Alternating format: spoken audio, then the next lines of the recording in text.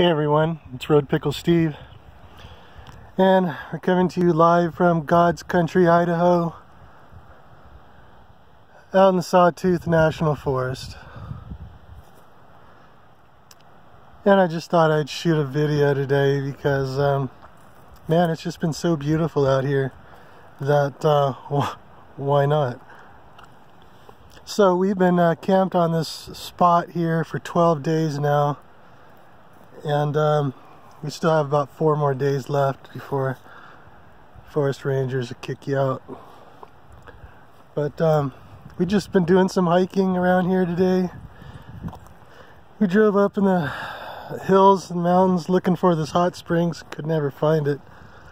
Um, and it turns out that we actually did find it but uh, the snow melt had pretty much flowed over it and made the water pretty cold but otherwise, um, Sash and I have just been chilling out here and uh, finding ourselves getting a little closer to the earth. And uh, when you spend these many days out here just in the wilderness, um, pretty much nothing around here. This is not even a developed campground. We just found this little forest road, followed it up a ways, and uh, we found this little flat out here and just decided to uh, make this our home for the next uh, couple of weeks or so. And in doing so, we just started learning a lot about uh, what it really means to be alive. You know, we spend our nights doing campfires. Sasha actually bought this book about um, plants that you can eat, and uh, she's already collecting stuff.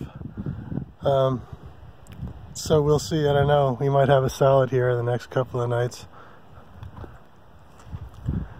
Um, even though we're living out here in the middle of God's country, it's still not really. I mean, we still have all of our amenities, right? We've got our RV, our toy hauler, we got our motorcycles, yeah, we got our pickup truck. I mean, we've got propane, we've got air conditioning, we've got a furnace, we've got a microwave oven. We even have internet here. Um, pretty much we can still live like, you know, we're accustomed to living as city dwellers. But we just get out of the city and we stay out here in the wilderness and we cleanse ourselves from all that insanity and we take life pretty slow. And uh, that's kind of what I like. You know, I pretty much lived in cities my entire life. I grew up in cities. I grew up, you know, I was born in Honolulu, Hawaii, which is pretty much the big metropolis of Hawaii. Hey there, Sam. Yeah, I grew up in San Diego. I lived in Orange County, lived in the Bay Area. Man, uh, that's what I know is living in cities and suburbs, and um, it's just crazy. And after a while, you don't believe how your brain is just wired to uh, live with insanity.